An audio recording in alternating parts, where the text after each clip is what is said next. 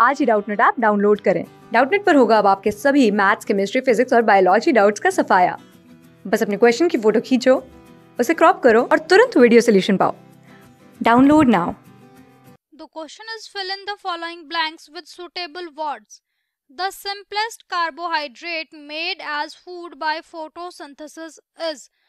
तो simplest carbohydrate जो कि बनेगी as a food by photosynthesis तो फोटोसिंथेसिस हमारी प्रोसेस है, यहाँ पर जो फ़ोटो वर्ड है, वो रिप्रेजेंट करता है लाइट को।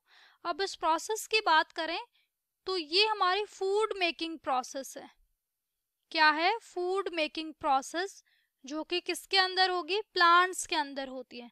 प्लांट्स इस प्रोसेस के द्वारा अपना फ़ूड प्रिपेयर करते हैं। किस गैस का यूज़ करेंगे? कार्बन डाइऑक्साइड प्लस वाटर और जैसे कि हमने बात की, ये लाइट के प्रेजेंस में होगी और जो गैस हमारी बनती है, वो ऑक्सीजन है और यहाँ पर सिंपल शुगर बनेगी, जो क्या होगी ग्लूकोज होगी।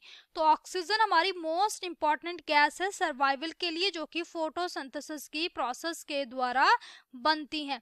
तो some of the carbohydrate glucose made by the plants through photosynthesis तो कुछ हमारे जो सिंपल कार्बोहाइड्रेट होते हैं ग्लूकोज होंगे, वो कन्वर्ट हो जाते हैं इनटू कॉम्प्लेक्स कार्बोहाइड्रेट जैसे कि स्टार्च तो ये हमारी स्टोर्ड फॉर्म है फ़ूड की. प्लांट्स के अंदर जो फ़ूड है, वो मेनली स्टोर होता है स्टार्च की फॉर्म में. Okay okay?